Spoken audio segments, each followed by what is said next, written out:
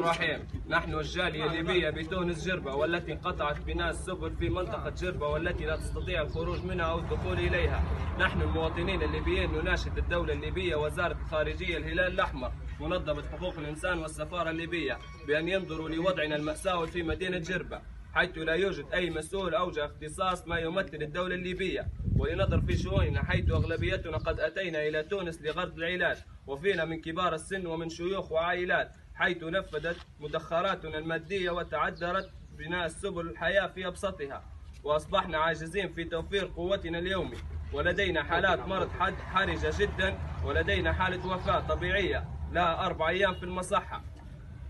فإننا نناشد جميع الجهات المختصة مما سبق ذكره من منظمات حقوق الإنسان والجهات ذات الاختصاص بالدولة الليبية لتنظر أحوالنا وأن نضع لنا الحلول الفورية.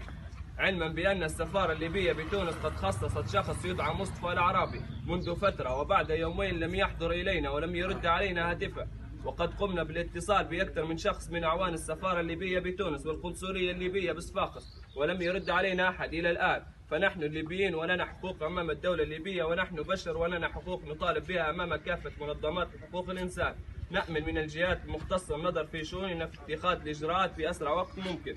ونطالب بإرجاعنا لأرض الوطن أو توفير لنا سبل الحياة والعيش داخل الدولة التونسية. ونأمل أيضا النظر في أمورنا بنظرة إرسالية والسلام عليكم ورحمة الله. الله أكبر. وين؟ التيشيرت؟ وين اللي عنده حاله حرجه يتكلم اللي عنده حالة وين؟ حرجة. زول اللي عنده حالة. يتكلم في السفارة على الحالات اللي قلنا كلها كلها كلها اللي عنده حالة يتكلم هنا. يتكلم حرجه سكر الفيديو تو